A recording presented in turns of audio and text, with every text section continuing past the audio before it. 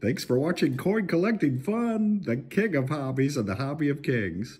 This coin is worth $2 for one pound in certified mint state. The coin you see on your screen is in average circulated condition and is worth 15 cents. We are currently enjoying a look at the front of the coin, or you may call this the obverse of the coin, or simply heads. Now let's go ahead and flip this coin over to enjoy a look at the back of the coin, or you may call this the reverse of the coin, or simply tails. And what a beautifully designed coin this is, both front and back, both obverse and reverse, both heads and tails.